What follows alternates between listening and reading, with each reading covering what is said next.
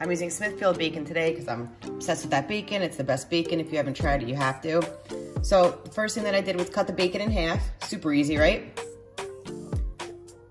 And then you take three strips and you put them down like this. If you want to make a bigger bacon weave, for whatever you want to eat it with, you could do that. But this is the perfect size for just one plain slice of bread. So I'm going to take this Fold the one in the middle up, place the bacon down, and fold it down. Then you lift these sides, lift the opposite sides, put the piece of bacon down, and then lay it on top. And the third and final piece, lift up this little one, put that down,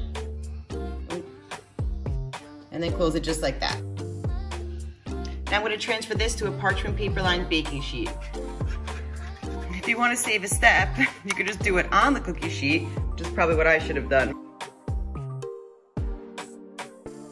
If you guys want to do this right on the parchment paper lined baking sheet and save yourself the transfer process, it's probably a smart idea. Now I'm going to put a piece of parchment paper on top of this.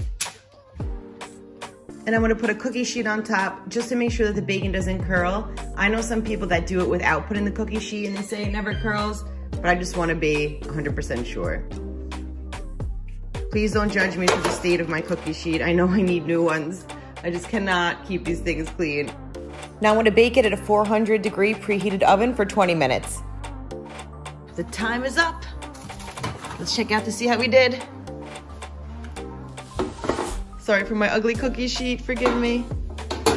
Okay, let's check it out. Oh my God, look at that. Perfect. Perfect, perfect, perfect. Now I'm gonna take this off and just drain it on some paper towels. Isn't it cute though? It's like the perfect size for a slice of bread. So you could put on any kind of sandwich. You could do a turkey club with this. You could do a bacon, egg, and cheese with this.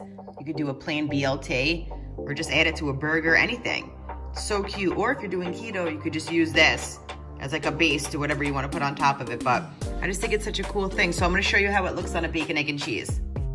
All right, so you guys have seen me make eggs a million times before. Just gonna put this right on top. Smithfield bacon weave. It just looks like a little bit more exciting to serve it like this, doesn't it? It also fits on the bread perfectly. If you cut the three strips of bacon in half, it's the perfect size. I love it, it looks so good. So I hope you guys like this one. I hope you found it helpful. I hope you give it a try because this is a super easy way to just make a sandwich look a little bit better. And thanks for watching.